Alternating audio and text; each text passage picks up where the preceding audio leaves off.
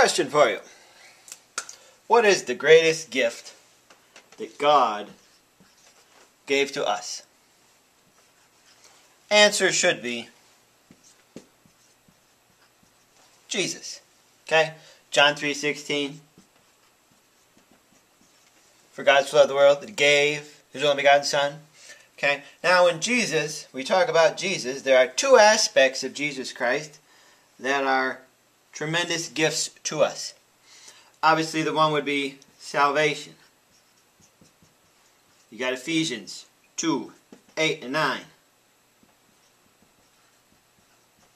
Okay, this whole program of salvation, the whole way it works by grace through faith, all of that is a provision through Jesus Christ, who is the Savior.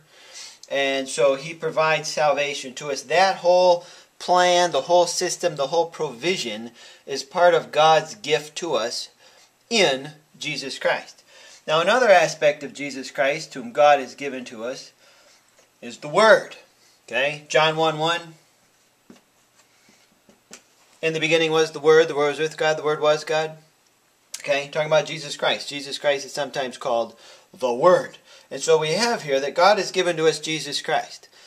Also, part of giving Jesus Christ to us is the fact that He grants salvation and the fact that He gives us His Word. So these things have been given to us.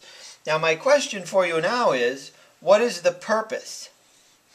What is the purpose of these two things, these two aspects of who Jesus Christ is and part of what God has given to us. What is the purpose? We have here purpose. Okay? What is the purpose? The purpose is not primarily to get us to heaven, although that's part of salvation. The purpose, you know, is, is not, you know, out there somewhere. What is the purpose here on earth? What are we supposed to be doing with salvation and with the Word? That is my question for you. But before I answer that question, I want to go back here to salvation and the Word. You have these two things. Okay, these are aspects of who Christ is. How do we partake in these things? Okay, Ephesians 2 8 9. For by grace are you saved through faith. And the Word over here, Romans ten seventeen. Faith comes by hearing, and hearing by the Word of Christ. So you have faith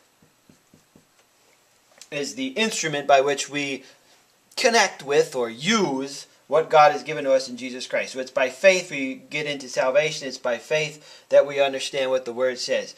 And so the, the conclusion of all that, what is the purpose of God having given to us Jesus Christ with salvation and with the Word of God? What is the purpose of those things while we're here on earth? My answer to that question is good good works. Good works are the purpose that we are supposed to be doing with salvation and with the Word. Oh, but you say that sounds a little legalistic there, Jeffrey? Perhaps you're getting a little carried away?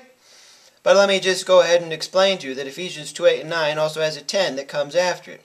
In Ephesians 2 8 and 9 says, For by grace are you saved through faith, that not of yourselves, this is a gift of God, not of works, lest any man should boast. For we are his workmanship, created in Christ Jesus unto good works which God has before ordained that we should walk in them. You cannot do good works before salvation, but now that you are saved, you are created, in fact, to do good works.